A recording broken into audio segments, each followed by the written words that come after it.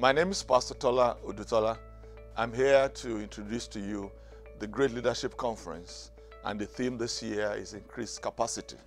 It's going to start from September 24th to 26th, 2020. The goal is to help us to increase our capacity, to teach people how their capacity can be increased for impact.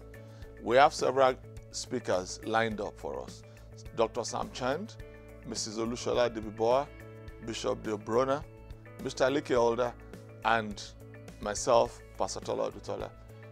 Try and register, and I know that as you attend, you are going to be blessed in the name of Jesus. I hope to see you there. Thank you, and God bless.